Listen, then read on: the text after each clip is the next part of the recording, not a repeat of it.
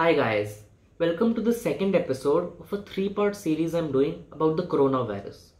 So around two months ago, I had made a video on the science behind the exponential spread of the virus. It demonstrated how the R naught of the coronavirus leads to each infected person infecting two or three more people, creating a multiplier effect. If you have not seen that video, you can watch it now on the Johns Hopkins University's COVID-19 website. See the link in the description. However, when I made that video, the global number of cases was 1 million. And today, that number has jumped to over 10 million. A 10x increase in just 2 months. While many countries like India, who have opened their lockdowns too early, or others like US and Brazil, who did not enforce a complete lockdown, are still experiencing exponential growth. Other countries are seeing a flattening of the curve and are now expecting a second wave. This is scary. Is there any hope of getting rid of this pandemic forever? Will life ever get back to normal?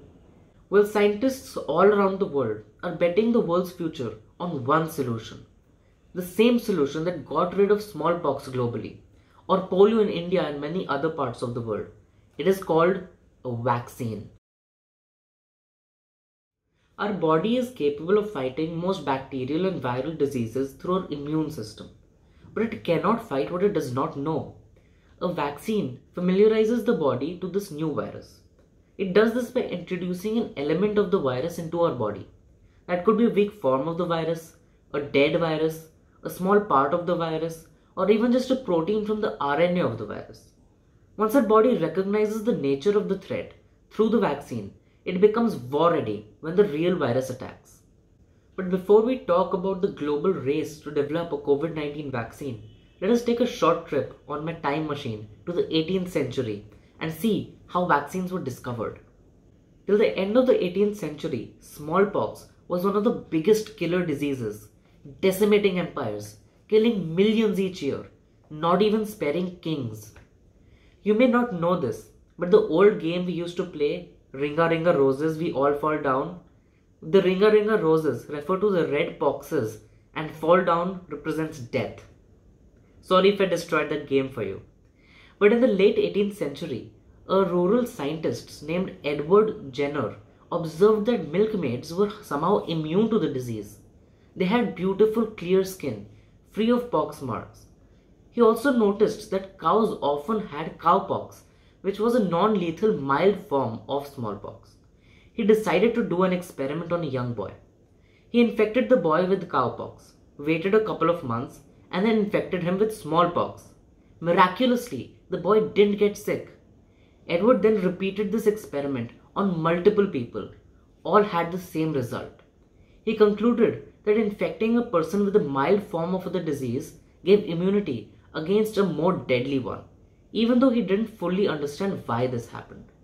Later, when Louis Pasteur invented the first viable vaccine based on a better understanding of germ theory, he borrowed the name from vacca, which means cow.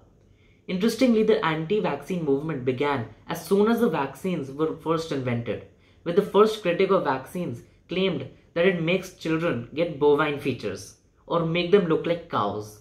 The anti-vaccine movement has gained currency in the last decade but most of it is rooted on fear and not science. The reality is that thanks to vaccination, fewer people suffer from vaccine preventable diseases, and the effects of such diseases are rarer in the general population. Consequently, the benefits of vaccination are less apparent than the risks. Vaccination has therefore become a victim to its own success. But vaccines are amongst the safest tools of modern medicine as they help beat diseases even before you get it. In early years, there was only one type of vaccine, the live attenuated vaccine, or vaccines that are made from a severely weakened form of the virus that helps create immunity but does not cause the disease or allow the virus to spread. The very rare cases where some mild symptoms of the disease may emerge is amongst people with extremely low immunity, such as those living with HIV AIDS. However, most modern vaccines are inactive vaccines that carry a killed virus or a small part of a dead virus. More recently, breakthroughs will allow extracting the RNA of a virus and boosting human immunity directly at the DNA level. In fact, none of the vaccines being developed for the coronavirus are live vaccines.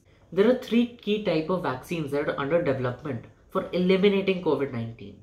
The first type of vaccine being developed uses non-replicating viral vector. Vaccine takes the coronavirus's genetic material and injects it into a common cold virus that's been neutralized so it can't spread in people.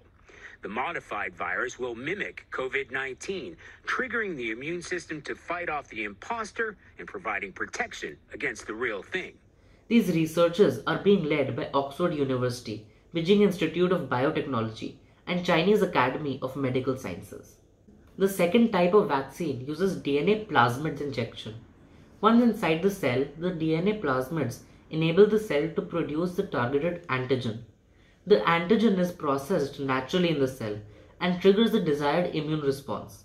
This research is being led by Inovio Pharmaceuticals in collaboration with the University of Texas and many other partners.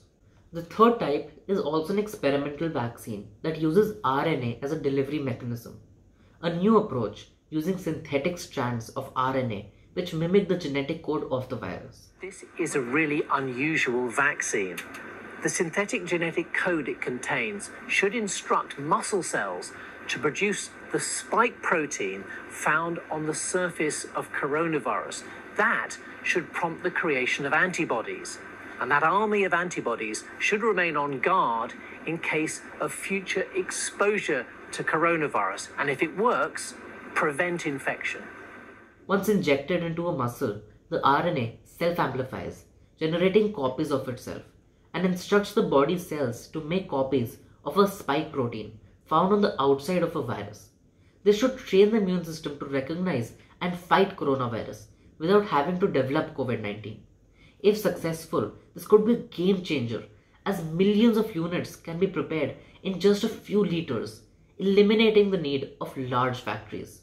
This technology was first experimented by Moderna Labs but is now being developed by several organizations such as the Imperial College of London, Pfizer, and CureVac.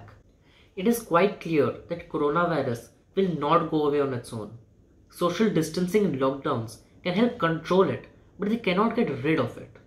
Vaccines are the only viable means to defeat the virus and reclaim our lives. The most urgent invention in the world right now is a vaccine that prevents you from getting COVID 19. The race for the development of a vaccine is on. Human trials have already begun for the Oxford vaccine, the Imperial vaccine, and the Moderna vaccine, the fastest turnaround in history of vaccine development. And no matter which company or university goes first to market, the human race will win.